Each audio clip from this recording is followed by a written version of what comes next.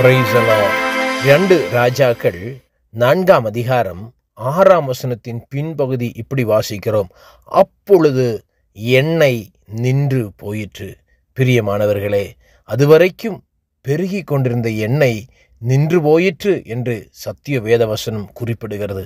காரணம் என்னவென்று நாம் பரிசோதித்து பார்க்கும் பொழுது அங்கே அந்த மகன் தன்னுடைய தாயிடம் பேசின ஒரு வார்த்தை எண்ணெயை நின்று போக பண்ணிற்று. அந்த மகனுடைய வாயிலிருந்து வெளிப்பட்ட ஒரு வார்த்தை. அது என்ன? அங்கே வாசிக்கும் பொழுது இப்படி வாசிக்கிறோம். வேறே பாத்திரங்கள் இல்லை என்று சொன்ன சத்தம் வெளிப்பட்ட உடனே வேதவசனம் சொல்லுகிறது எண்ணெய் நின்று போயிற்று. நீங்களும் நானும் நம்முடைய வாயிலிருந்து வெளிப்படுகிற வார்த்தைகளை குறித்து மிக கவனமாய் இருக்க வேண்டும்.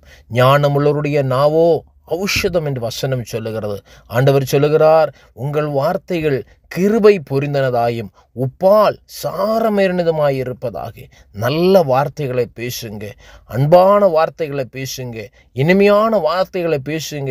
நம்முடைய வாழ்க்கையில் அதுவரைக்கும் கிடைத்து கொண்டிருந்த ஆசீர்வாதம் தடைபடுகிறது என்றால் அதற்கு பின்னாக என்ன காரணம் என்பதை நீங்கள் கண்டறியுங்கள். இந்த நாட்களில் தேவ பிள்ளைகள் குடும்பமாக கைகோர்த்து ஜெபம் பண்ணுங்க.